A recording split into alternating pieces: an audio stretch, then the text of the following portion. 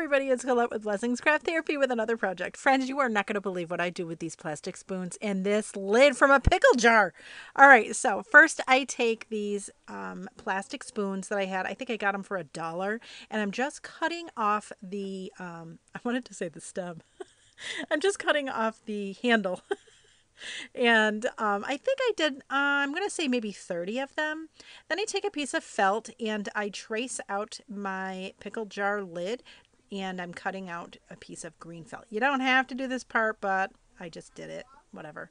Um, then I take some glue and I put the felt on top of the jar, just like that. Not the jar, the lid. Sorry.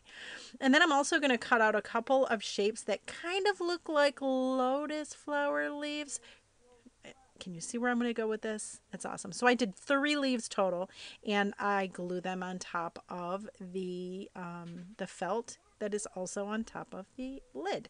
I feel like this is a hole on the bottom of the sea kind of. Anyways, bear with me, friends. All right, then I take this first row. I'm going to put some glue on the, I guess it's the top, and I'm going to glue it all around the perimeter of the lid and on top of those leaves. Okay, so go all the way around like this. Ta-da! Um, I can't remember how many I used. You can count them though. All right, so once that's done, then you're going to go and flip them the other way and put the glue on the bottom and you're going to put them right in between where the other um, the bottom ones were. Does that make sense? Um, and you're going to have to probably because it, depending on how hot your glue gun gets, you might have to hold it in place, the spoon in place, just to make sure that it keeps it where you want it. Um, but you go all the way around just like this. This is so easy. Look how cute this is so far. You can make a daisy even if you wanted.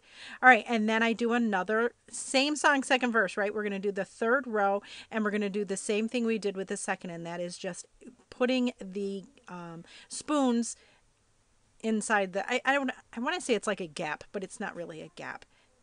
You'll you see what I'm doing.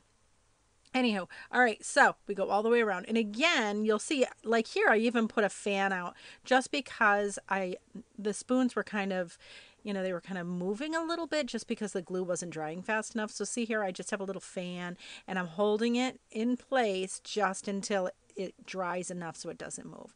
Look how pretty this is. Can you believe it? This is made out of spoons. I love it. All right, so there's that. Look at, I just can't even, look at how cute this is. I know. Some of you are probably like, ooh, it's gross. I like it.